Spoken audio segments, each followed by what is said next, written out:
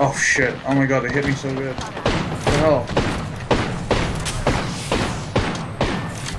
No, they hit me so good. What the fuck? I got like no batteries. What? Oh god.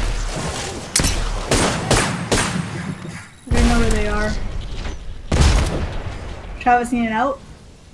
Okay. I think.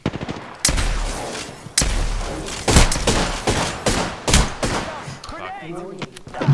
Oh. They literally dropped right in front of me. Uh, their back was turned to me. They were like standing still, and I missed.